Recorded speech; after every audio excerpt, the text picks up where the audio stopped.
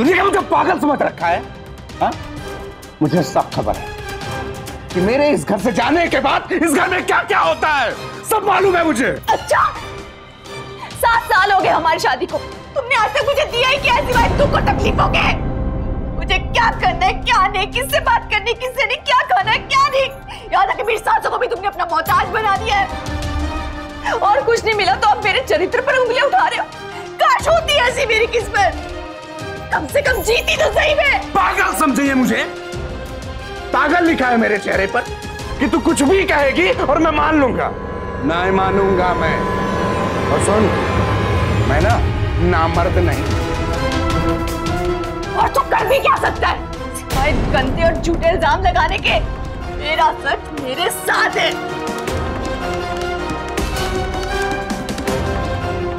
तो मेरे घर में भी ये सब नहीं चलेगा। ये जान ले तू।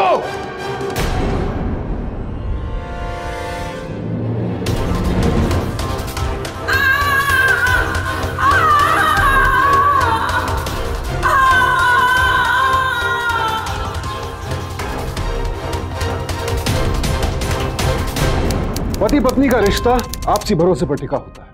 और अगर दोनों में से कोई एक भी इस भरोसे को तोड़े तो फिर रिश्ते को टूटते भी ज़्यादा देर नहीं लगती है।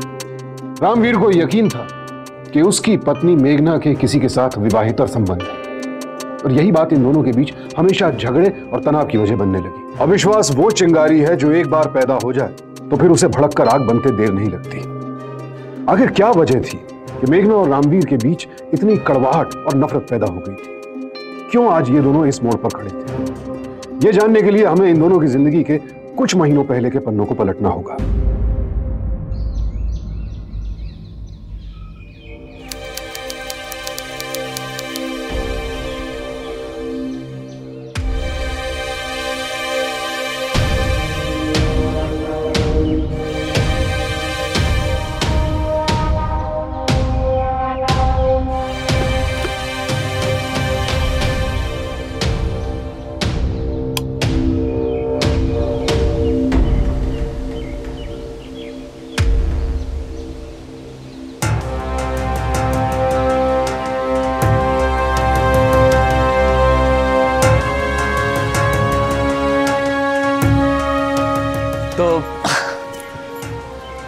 पंखा चल रहा है। जी बहुत गर्मी लग रही थी। देख रहा हूँ कि आजकल तुझे गर्मी बहुत लग रही है। तू कहे तो एसी लगवा दूँ?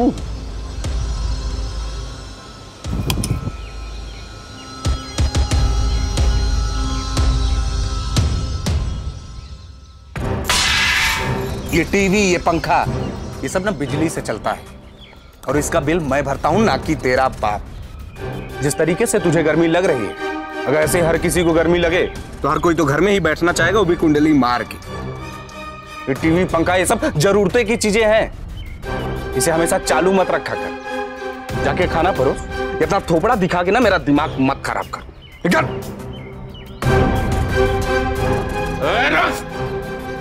इसको कौन उठाएगा, तेरा बाप? केवल दिमाग खराब कर।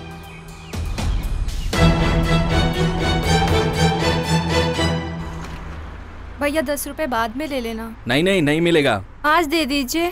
नहीं नहीं नहीं मिलेगा। क्या हुआ? कितने पैसे देने हैं? दस रुपए। ये क्या आज भी दस रुपए कम? दस रुपए दे दिए अब। ज़्यादा बोलने की ज़रूरत ना है। ले बेटा। ये लीजिए। चल। रिक्शा?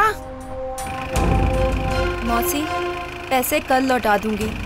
वो मैं सोनू के पापा से लेना भूल गई। मैं तेरा हाल अच्छे से समझती हूँ बेटा। ये रामवीर भी न जाने कौन सी मिट्टी का बना है।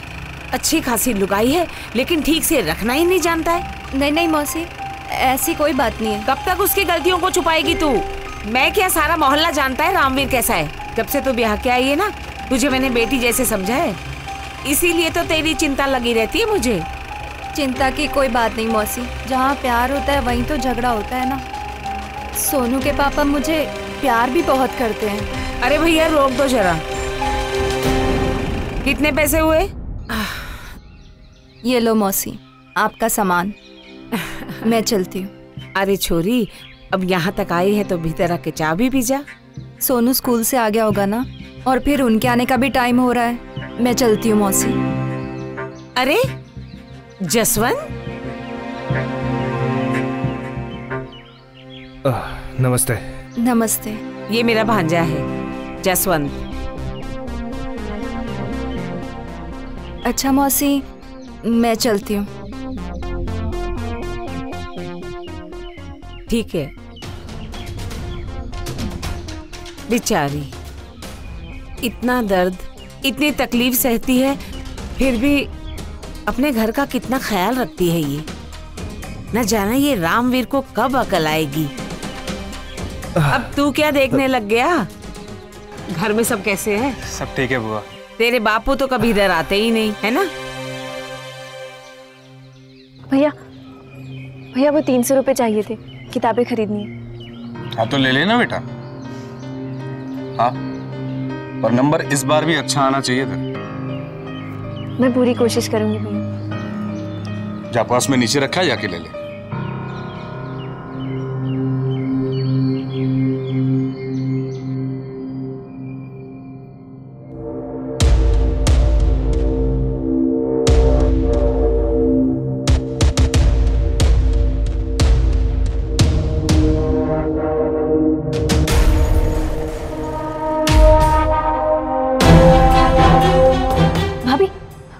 आपको। मेरा पाँव फिसल गया। शायद मोच आई आप यहीं रुकिए। मैं आपके लिए अभी मेडिकल स्टोर से बाम लेके हूँ। कोई ज़रूरत नहीं है बाम लाने की। इस घर में अगर इस तरीके से छोटी छोटी बातों पर पैसा खर्चा होने लगा तो इस घर का तो बेड़ा पार है। लेकिन भैया भाभी को मैंने कहा ना नहीं तो नहीं। तुझे कॉलेज के लिए देरी हो रही है। जा।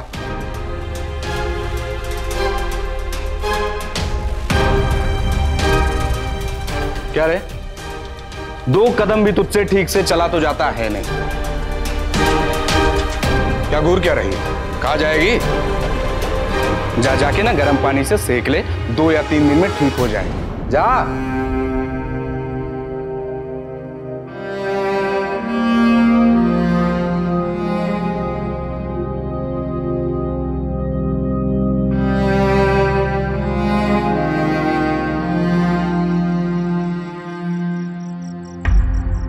ये कहाँ से लाई? मेडिकल स्टोर से। वो भैया ने जो पैसे दिए थे ना किताबों के लिए, उसी से। और अब किताबें कहाँ से आएँगी? भाभी, भैया से कह दूँगी, और पैसे चाहिए किताबों के लिए। मना थोड़ी ना करेंगी। भाभी, भैया बुरे नहीं है। वो क्या है ना, एक तो उनकी छोटी सी नौकरी, ऊपर से हम सबकी ज़िम्मेदारी। शायद इसी वजह से बस थोड़े से चिड़चिड़े हो गए पर आप चिंता मत कीजिए। जैसे ही अच्छे पैसे आने लगेंगे ना भैया फिर से अच्छे हो जाएँगे सच में।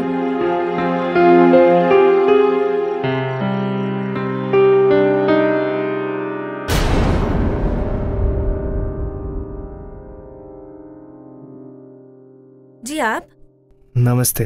वो हमारी प्रेस आपकी भाभी ले आई थी। भाभी दुर्गा मौसी ने इस्त्री मंगवाई है। आप दे देना मैं जा रही हूँ। उनसे ले लेना जी। हाँ?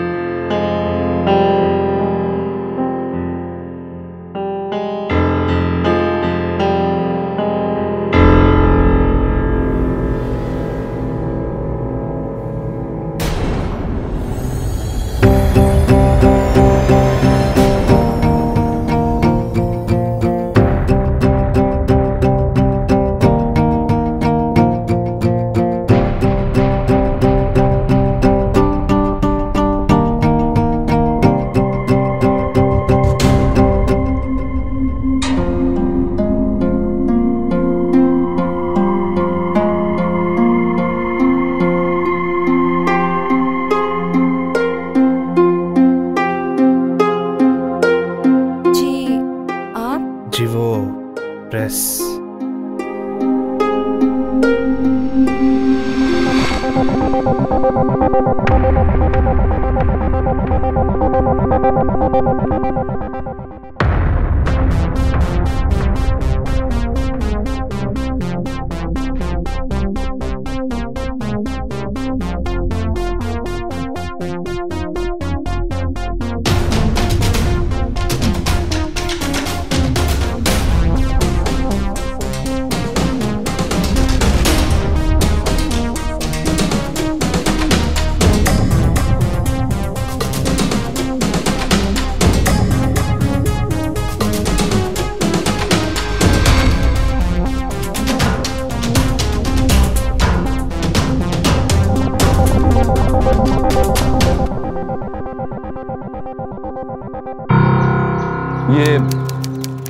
दो किलो क्यों? जी वो नीति और सोनू को सुबह सुबह शीरा पसंद है। और ये राजमा तो तू पिछले हफ़्ते ही लेके आई थी। खत्म होने वाली है। हाँ तो खत्म हो जाए उसके बाद लेके आ। कौन सा राशन का दुकान बंद हो जाएगा? और ये ये ये गेहूँ ना 25 किलो की जगह 15 कर। चना दाल एक किलो। मसाला 250 ग्राम और चावल 10 नहीं पाँच किलो में ना काम चला तू। लेकिन ये तो बहुत कम है। महीना भर चल ही नहीं पाएगा। हाँ तो फिर से लेके आ। राशन का दुकान बंद हो रहा है क्या? दिमाग केवल पैसा। ये ले। जी वो बीस रुपए और चाहिए थे। वो आते वक्त रिक्शा का किराया। ओह तो रिक्शा से आएँगी या? क्यों? राशन वाले का दुकान दस कोस दूर है क्या? दो गली छोड़ के पैदल नहीं आ सकती है तुम हम्म? और कौन सा तुझे पूरे मोहल्ले का राशन लेके आना है? राशन तो सिर्फ़ घर का लाना है तो तू ला सकती है वो। जब मुँह खोलना ना तो सिर्फ़ पैसे के लिए खोलना। बचत तो जानती हो नहीं तुम। पागल है तुम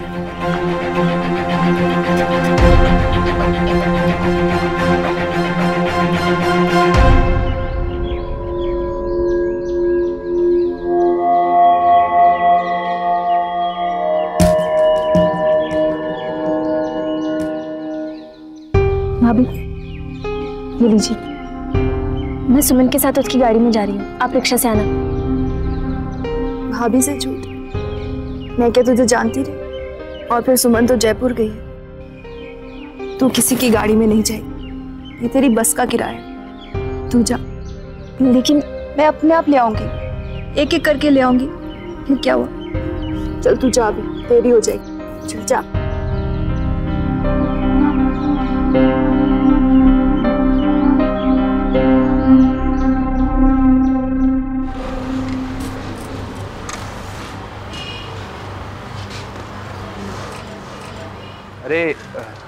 ये क्या? इतना सारा सामान वो भी इतनी तेज धूप में। लाइए लाइए मुझे दीजिए। अरे मुझे दीजिए ना। दीजिए। चलो रिक्शा में चलो रिक्शा की कोई ज़रूरत नहीं है। घर पास में ही है। आपको ज़रूरत नहीं है लेकिन मुझे तो है ना। देखिए मैं वहीं रहता हूँ आपको भी छोड़ दूँगा। चलिए आइए। चलिए ना।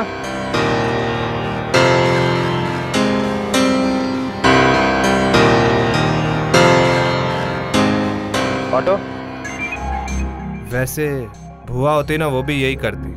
हमेशा आपके बारे में बात करती रहती है। हमेशा आपकी चिंता लगी रहती है उन्हें। मैं जानती हूँ। उनके होते हुए माँ की कमी कभी इतनी महसूस ही नहीं हुई। बहुत ख्याल रखती हैं वो मेरा।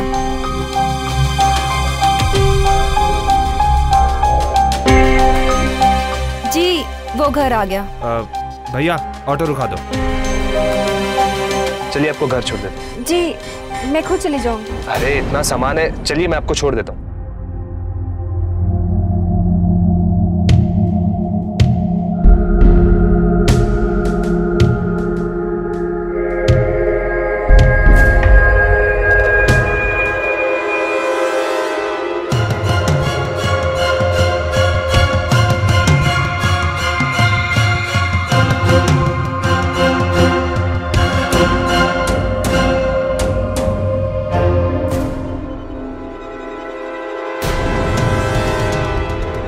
ये पूरे मोहल्ले की मदद ऐसे ही करता है?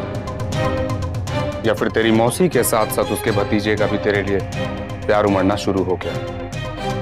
है तो बोल दे। भाभी भाभी बहुत भूख लगी है। अगर खाना तैयार है तो दे दीजिए ना। अब रोज देरी से खाना खाने की आदत डाल। मैं तो कहूँ भूखे मरने क्योंकि अब तेरी भाभी का ध्यान किचन से ज़्यादा कहीं और है। भाभी चलिए।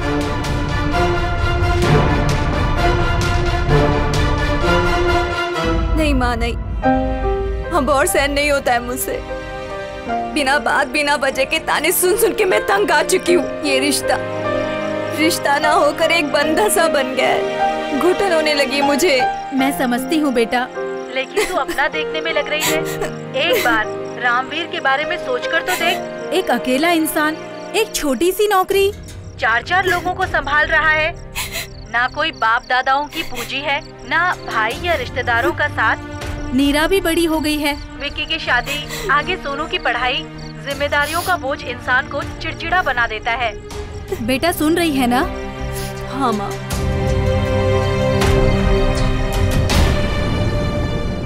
मौसी हुआ मंदिर गई है सत्संग के लिए। ठीक है।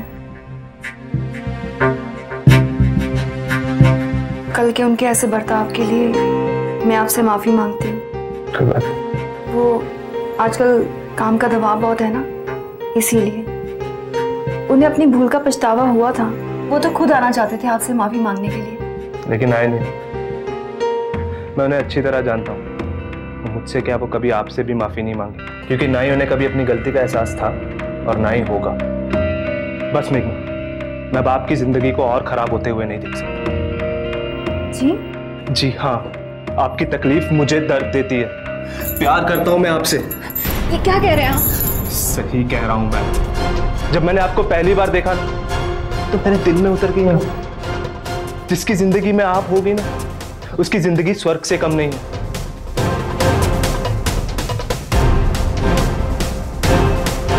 अगर ये बात रामवीर नहीं समझ सकता तो उसे तुम्हारा पति होने का कोई अधिकार नहीं है। मैं तुमसे शादी करूँगा मेघना। तुम्हें ज़िंदगी की हर एक खुशी दूँगा। जिस पर तुम्हारा अधिकार है। तुमसे बहुत प्यार करता हूँ मेघना और मुझे पता है तुम भी मुझसे बहुत प्यार करती हो। मैं सिर्फ़ अपने परिवार से प्यार करती हूँ। अपने आप को धोखे में मत रखो मेघना। तुम्हें भी जीने का हक है। तुम्हें भी खुश रहने का अधिकार है। मैं ही तुम्हारी खुशी हूँ। हाँ मेघना।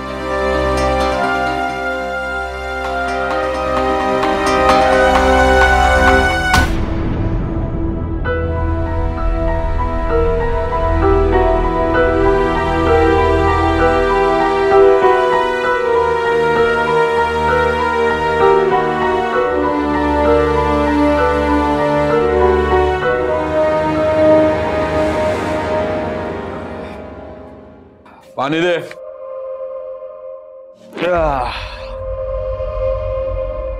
अरे लाएगी। जी ला रही हूँ। ला रही हूँ नहीं लेके आओ।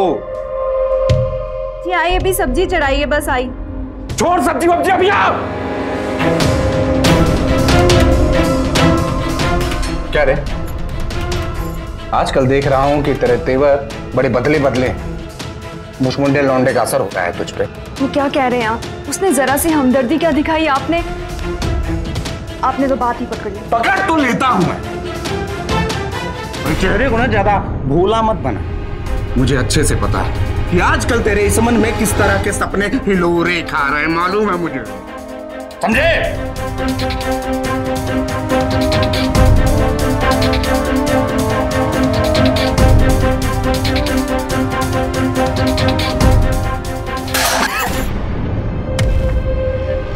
तरह से गुस्सा करने से सच झूठ में नहीं बदल जाएगा। तूने क्या मुझे पागल समझ रखा है? हा? मुझे सब खबर है कि मेरे इस घर से जाने के बाद इस घर में क्या क्या होता है। सब मालूम है मुझे। अच्छा सात साल हो गए हमारी शादी को। तुमने आज तक मुझे दिया ही क्या है सिवाय और तकलीफों के? मुझे क्या करना है क्या नहीं किससे बात करनी किससे नहीं क्या खाना है क्या नहीं? याद है कि मेरी सासों को भी तुमने अपना मोहताज बना दिया है। और कुछ नहीं मिला तो आप मेरे चरित्र पर उंगलियाँ उठा रहे हो। काश होती ऐसी मेरी किस्मत। कम से कम जीती तो सही में। पागल समझिए मुझे। पागल लिखा है मेरे चेहरे पर कि तू कुछ भी कहेगी और मैं मान लूँगा। नहीं मानूँगा मैं। और सुन मैं ना नामर्द नहीं। इससे पहले कि तू अपना ये मुँह काला करे मैं तुझे ना और तू कर भी क्या सकता है? सिवाय गंदे और झूठे इल्ज़ाम लगाने के मेरा सच मेरे साथ है। अब तो मुझे किसी को जताने की ज़रूरत है ना ही किसी को समझाने की समझा।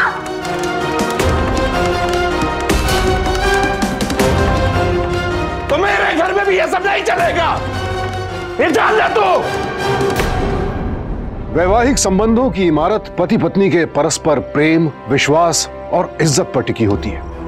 लेकिन जहाँ इनकी जगह शंका रोक टोक और एक दूसरे के जीवन में ज़रूरत से ज़्यादा दखल अंदाजी आ जाए तो फिर इस इमारत को डगमगाते देर नहीं लगती। और यही हो रहा था रामवीर और मेघना के जीवन में। रामवीर का यह व्यवहार मेघना को लगातार उससे दूर करता जा रहा था। और शायद रामवीर को खुद इस बात का एहसास नहीं था कि उसका व्यवहार एक दिन उसके जीवन को किस खतरनाक मोड़ तक ले जाएगा। अब ये दूरियाँ बर्दाश्त नहीं होती मेघना। चलो हम कहीं भाग चलते जाके शादी करेंगे। और अपनी एक छोटी सी दुनिया बसाएँगे। नहीं जसवंत। मैं चाहकर भी ऐसा नहीं कर सकती। क्यों मेघना? क्या तुम नहीं चाहती कि उस घर उस इंसान से तुम्हारा छुटकारा हो? उसके अलावा भी कुछ रिश्ते हैं। मेरी बहन प्यारी ननन मेरा ऐसे करने से सजा उनको मिलेगी। कौन थामेगा उनका हाथ शादी के लिए? मैं इस तरह से उनकी ज़िंदगी बर्बाद नहीं कर सकती। मुझे लगता है कि हमें हमें अपना रिश्ता यहीं खत्म कर देना चाहिए।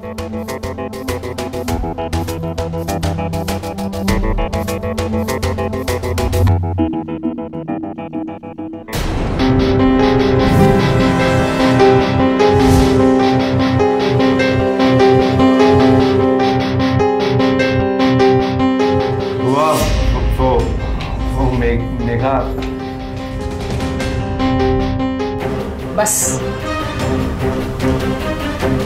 निकल जाओ इधर से। चली जाओ।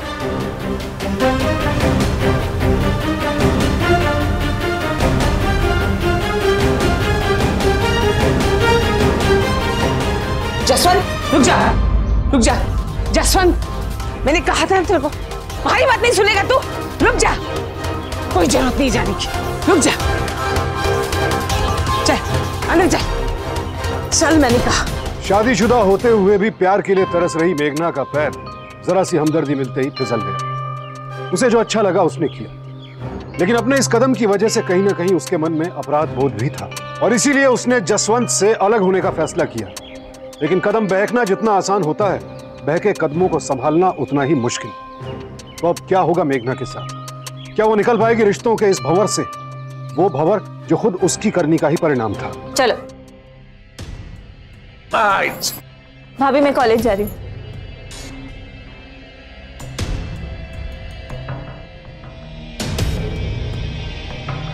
मेघना! मेघना! मौसी? बेटी मारा था मैंने तुझे।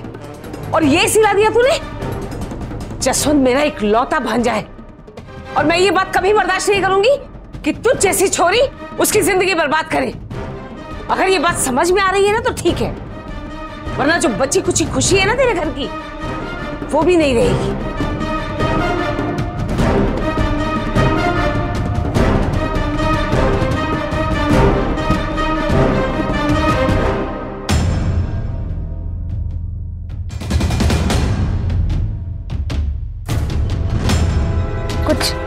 कुछ कह रही थी दुर्गा मौसी?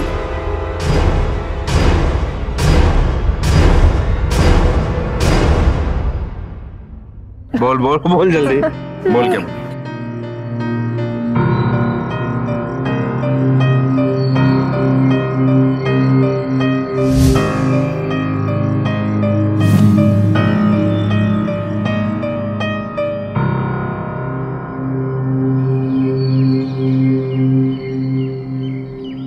बहुत घबरा रहा है। ना जाने क्या होने वाला है। आने की ज़रूरत नहीं है। मैं हूँ ना तुम्हारे साथ। दुर्गा मौसी का बहुत डर लग रहा है मुझे।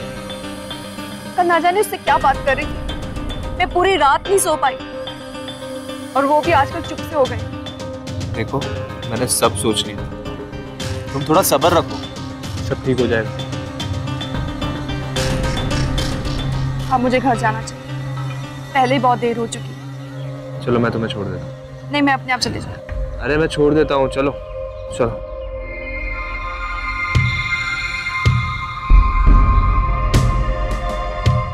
हाँ आराम से आराम से।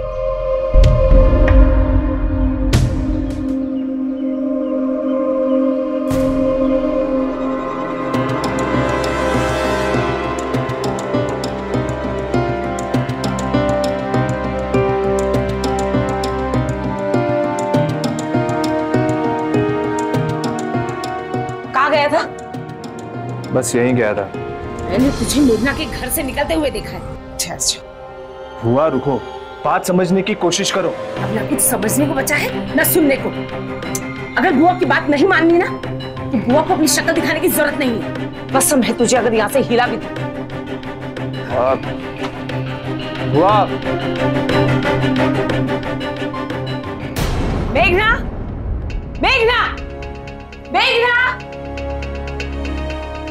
मासी। अरे मौसी हाँ मत बोल मौसी मुझे। समझाया था ना तुझे? जसवंत से दूर रहे समझ में नहीं आया तेरे। तेरी जैसी लुगाई मैंने आज तक नहीं देखी। मौसी क्या हुआ है? कुछ नहीं। तू अंदर जा। अंदर जा। पर भाभी मैंने कहा ना तू अंदर जा। एक बात कान खोल के सुन। जसवंत की तरफ़ आँख उठाकर भी देखा। तो मुझसे बुरा कोई नहीं होगा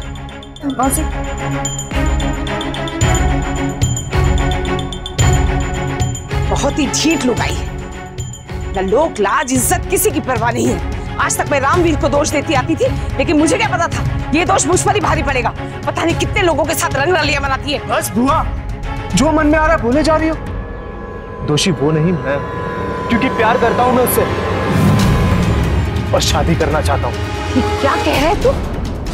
होश में भी है? हाँ होश में हूँ इसीलिए मैंने फैसला किया कि मेघना उस घर में अब नहीं रहेगी। अरे क्या जादू कर दिया उस छोरी ने तेरे ऊपर?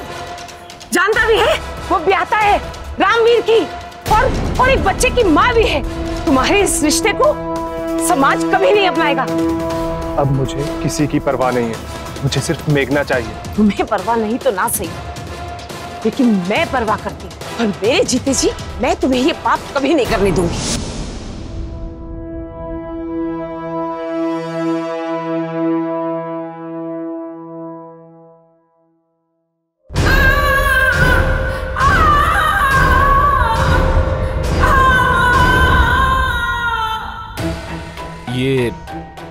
आपकी पत्नी का है? आपकी पत्नी की बॉडी पूरी तरह से जल चुकी है। शिनाख्त के लिए बताइए कि क्या ये ज्वेलरी उन्हीं की है? हाँ ये मेघना का ही है।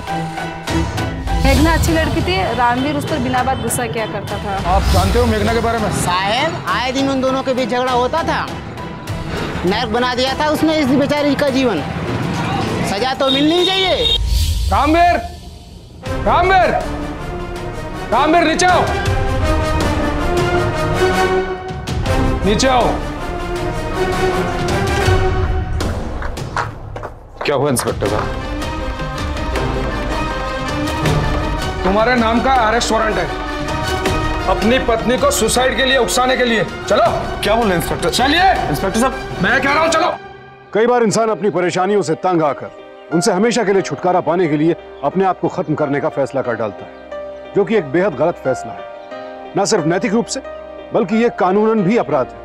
आईपीसी की धारा 309 के तहत आत्महत्या की कोशिश के लिए सजा का प्रावधान। लेकिन किसी को आत्महत्या करने के लिए उकसाना या मजबूर करना, इससे भी बड़ा अपराध है। और इसके लिए आईपीसी की धारा 306 के तहत 10 साल तक की कैद की सजा का प्रावधान है। तो आखिर कौन था मेघना की मौत के लिए जिम्मेदार? उसकी मौत के लिए कोई दोषी था? या उसकी मौत में अब भी कोई राज छिपा था? भैया, सोनू आपको और भाभी को बहुत याद करता है।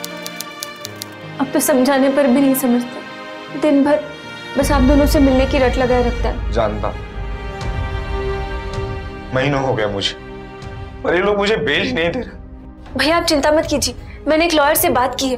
वो जल्दी आपको बेल दिलवा देंगे। पता नहीं मेघना ने ऐसा क्यों किया।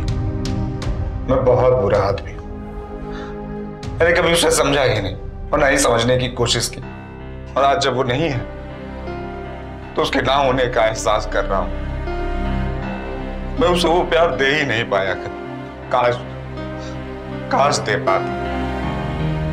मैंने अपने हाथों से अपना घर बर्बाद कर दिया। मैं ही उसके मौत का जिम्मेदार। नहीं भैया ऐसा मत कहिए। झगड़े तो आप दोनों के बीच पहले भी हुआ करते थे पर इस वजह से भाभी इतना बड़ा कदम कभी नहीं उठा सकती। पता नहीं मुझे ऐसा क्यों लग रहा है कि ज़रूर इसके पीछे कोई और वजह है। मैं समझा नहीं। और वजह?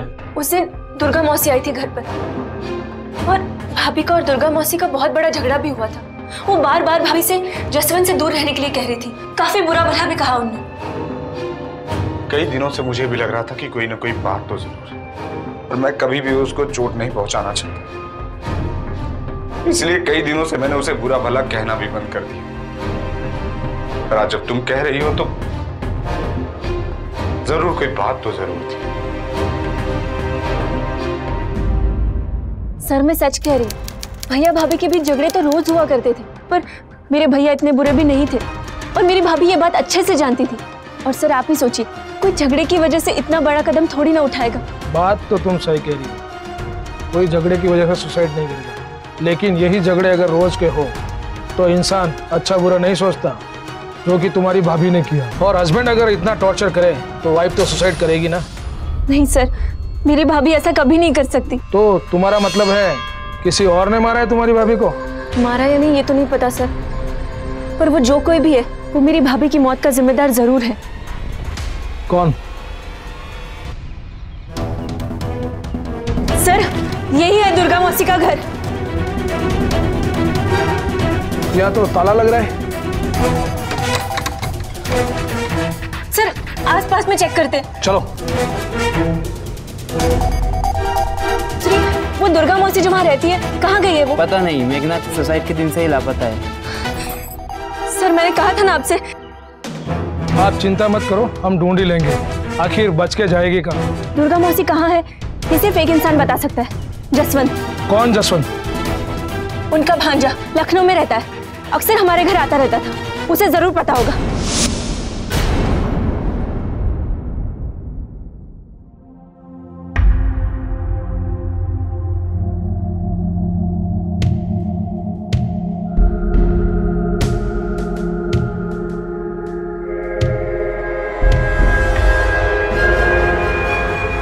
जी वो दुर्गा भुआ घर में लॉक लगा हुआ है। कुछ पता कर गई है आपको? उसने ऐसा क्यों किया? एक बार सोचा तो होता। एक नेबर के लिए ऐसे इमोशंस कुछ समझ में नहीं आया हमें। कुछ बताना पसंद करोगे?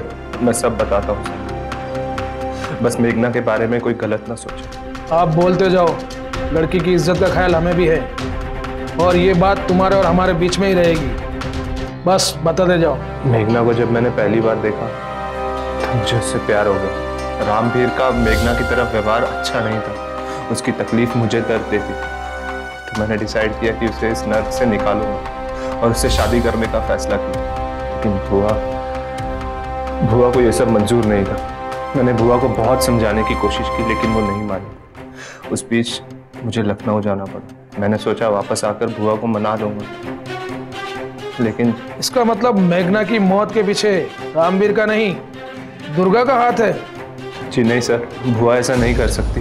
तो फिर लापता क्यों है? और ठीक मेघना के सुसाइड वाले दिन से ही कैसे? तुम्हें कुछ मालूम है उसके बारे में? नहीं सर मैं तो लखनऊ में था और भुआ के पास कोई कांटेक्ट नंबर भी नहीं। मैं जब जाता था तभी उनसे बात हो पाती जसवंत के उस एक बयान ने पुलिस की तफ्तीश का रुख ही बदल कर रख दिया। अब पुलिस को दुर्गा की तलाश थी। और उसके मिलने पर ही पता चल सकता था कि मेघना की यह मौत आत्महत्या थी, या फिर किसी सोची समझी साजिश के तहत की गई हत्या। लेकिन पुलिस को दुर्गा का कहीं कोई सुराग नहीं मिल रहा था। पुलिस दुर्गा को तलाश ज़रूर रही थी, लेकिन उसके शक की सुई अब भी रामवीर पर ही टिकी थी। लेकिन नीरा को अपने भाई की बेगुनाही का पूरा यकीन था।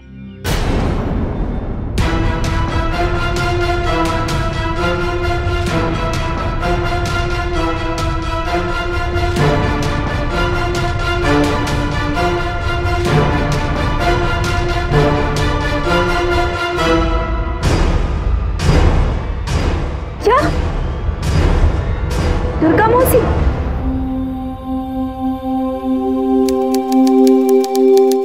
सर अनिल भैया ने फ़ोन पर यही पता बताया। जसवंत यही रहता है। लेकिन ऊपर तो जाकर आए ऊपर तो लॉक लगा हुआ है। सर पड़ोसी से पूछते हैं। सुनिए भाई साहब वो जसवंत यही रहता है ना? यही ऊपर आता था अब नहीं रहता। अब नहीं रहता। इनमें से किसी को देखा है तुमने? सर इस आदमी को तो देखा है। लेकिन इसके साथ इस औरत को कभी नहीं देखा। इनमें से किसी को देखा है तुमने? हाँ ये तो जसवंत है। मेरी दुकान में चाय पीने आता है लेकिन इस औरत को कभी नहीं देखा इसके साथ। मैंने सुना है वो यहाँ से जा रहा है। उसके घर का भी सौदा हो गया है। दो तीन दिन में जाने वाला है। कलेजे को ठंडक मिल गई बेमतलब के परेशान कर रखा है पुलिस को। सर सर मैं सच कह रही हूँ मुझे पूरा यकीन है कि दुर्गा मौसी और जसवंत इस चीज़ से जुड़े हुए हैं। आप मेरा विश्वास करके तो देखिए। और कितना विश्वास करोगे मैडम जी पुलिस को अपने हिसाब से काम करने दो। और हाँ अब फ़ोन तभी करना जब सच अपनी आँखों से देख ना लो।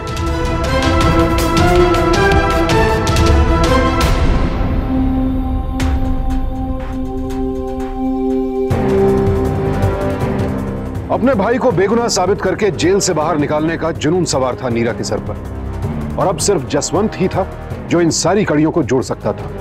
यह पहली जसवंत के सिवा और कोई हल नहीं कर सकता था।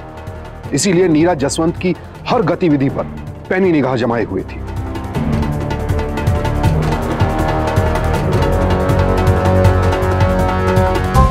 Thank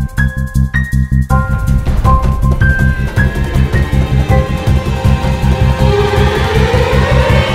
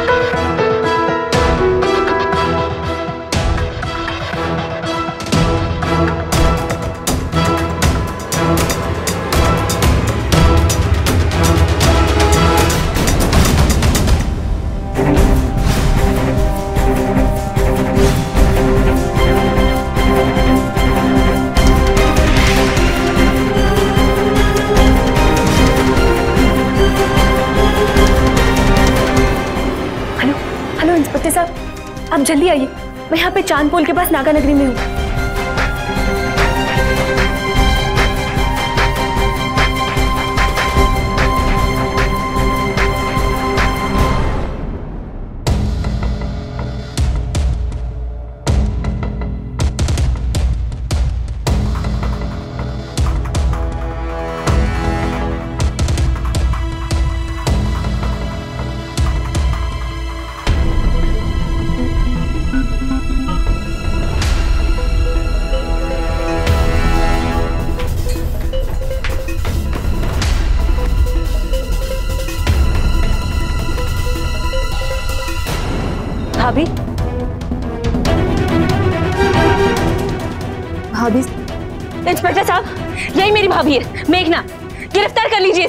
क्या कह रही हैं आप? मेरा नाम मेघना नहीं मेरा नाम रेखा त्रिवेदी। सर ये झूठ बोल रही है। मैंने कहा ना मेरा नाम मेघना नहीं है मेरा नाम रेखा त्रिवेदी है। Wife of Jaswant Trivedi sir ये झूठ बोल सर वो रहा जसवंत पकड़ लीजिए इसे।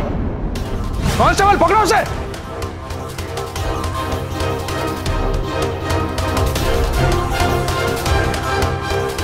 पकड़ो। चलो ले जाओ इसे।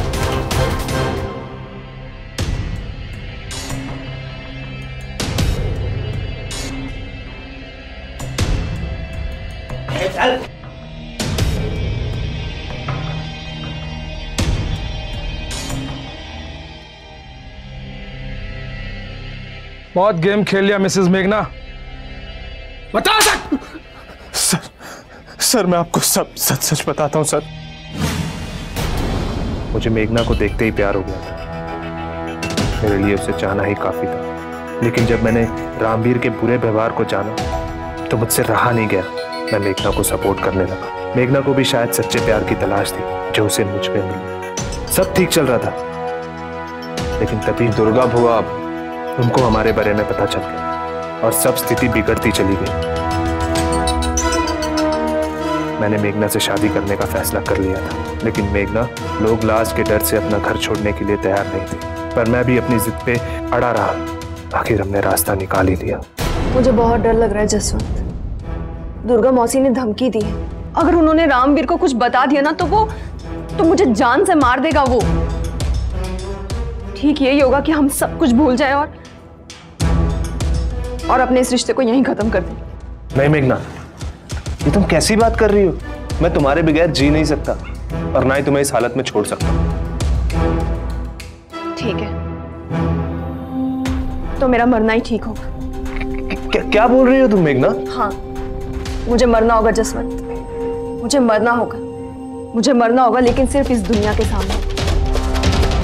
मौत के बाद मुझे कोई याद करने वाला तो है नहीं। रामवीर और और इन लोगों से छुटकारा पाने के लिए मुझे अपनी झूठी मौत का नाटक रचना ही होगा। और उसके बाद उसके बाद हम अपनी नई ज़िंदगी की शुरुआत कर पाएँगे। लेकिन मेघना अगर तुम सुसाइड करती हो तो तुम्हारी डेड बॉडी का क्या होगा?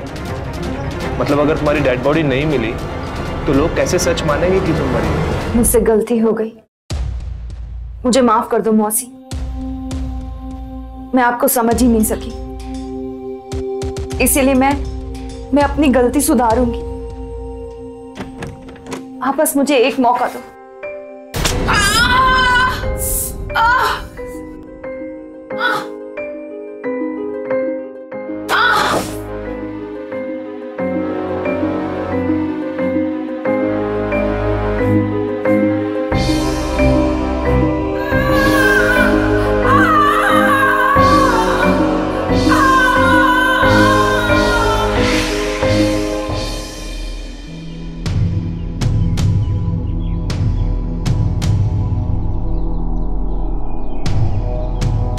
पिछले छह महीने से मैं हर रोज यही सोच सोच कर मर रहा हूँ कि तेरी मौत का जिम्मेदार मैं। मेरे रोज की लड़ाई झगड़े, तानू ने तेरी जान ले ली।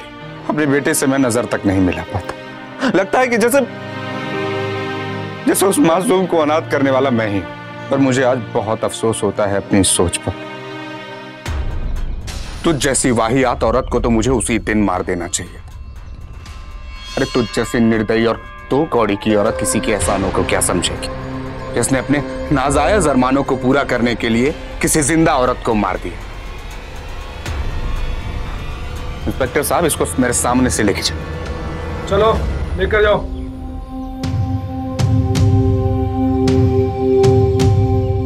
प्यार पाने का हक हर किसी को है लेकिन उसे हासिल करने का यह तरीका किसी भी सूरत में सही नहीं है। अगर मेघना अपने पति से नाखुश थी तो वो उससे अलग हो सकती थी। उससे तलाक लेकर जसवंत के साथ एक नई ज़िंदगी शुरू कर सकती थी। लेकिन इस सबसे अलग जो रास्ता उसने इख्तियार किया, वो सिर्फ़ गलत ही नहीं, बल्कि कायरतापूर्ण किया गया एक संगीन अपराध भी था। अपने इस खेल में उसने अपने बच्चे तक की परवाह नहीं की। मेघना को दुर्गा की हत्या के आरोप में आईपीसी की धारा 302 के तहत गिरफ़्तार किया गया। इस धारा में आजीवन कारावास से लेकर मृत्युदंड तक का प्रावधान है। जसवंत को अपराध में मेघना का सहभागी होने और पुलिस को झूठा बयान देने के आरोप में आईपीसी की धारा सैंतीस, धारा 177 और धारा एक सौ इक्यानवे के तहत दोषी पाया गया। आज दोनों ही जेल में अपने किए की सजा भुगत रहे हैं। इसीलिए सावधान रहिए, हदें तोड़ती उन कामनाओं से, जो किसी भी इंसान को अंधा बना दे और एक साथ कई जिंदगियाँ तहस नहस कर दे। इसी विनती के साथ अब मैं सुशांत सिंह आपसे विदा लेता हूँ। फिर मुलाकात होगी ऐसी एक और सत्य घटना के साथ। देखते रहें सावधान इंडिया। India fight